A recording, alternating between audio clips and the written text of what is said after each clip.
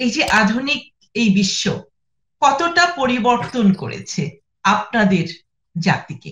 আপনি যে যেখান থেকে এসেছেন, সেই কর্ণফুলী নদী, সেই পার্বত্য চট্টগ্রাম, আপনাদের সংস্কৃতি এবং আপনি যে এই যে বললেন যে আপনি যখন গেছেন এখানে আদিবাসীদের, ওদের যে টঙে যে ওরা থাকতো, সেটাকে এখনও ওরা প্রিজার্ভ করে রেখেছে, কিন্তু ওখানে ওরা থাকে না। তাদের জীবনযাত্রা উন্নত হয়েছে। তো আপনার দেখা আপনি তো আর সেই আদিম যুগের নয় কিন্তু আপনার দেখা সময়টা থেকে এখন পর্যন্ত জীবনযাত্রার কি পরিবর্তনটা হয়েছে? একটু যদি বলেন এবং আপনার কাছে সেটা কেমন লাগে? আমাদের আমাদের আদিবাসীদের জীবনযাত্রার কতখানি পরিবর্তন এসেছে? আসলে সংস্কৃতি কিন্তু পরিবর্তনশীল তাই না? এটা পরিবর্তন হবেই।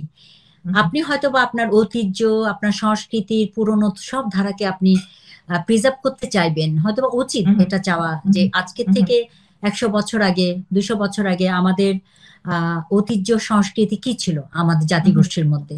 তো সেটা তো নিশ্চয় ওরকম ভাবে আজকে আমরা পাচ্ছি না। যেমন সেটা একটা এক্সাম্পল আমি দিই। যেমন আগে আমাদের পাহাড়ের আমার মা নানিরাও কিন্তু পাহাড়ে যখন থাকতো ওই সময়টা তারা কিন্তু ওই আমাদের মাচা ঘরে থাকতো। মাচা ঘরে থাকতো তারা ওই সময়। তারপরে সেটা হচ্ছে রাঙামাটি যখন একদম পাহাড়ের নিচে ছিল তখন ব্লাক কাপ্তাই লেকের পানি হয়নি তখন।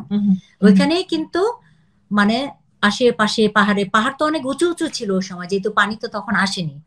এটা তো উনিশশো ষাট সালে ওটা কাপ্তায় বাদ দেওয়ার পরে কিন্তু পানিটা এসছে। তো ওই সময় তো আমি আমি আমার বাদ দেওয়ার পরে আমি জন্মগ্রহণ করেছি।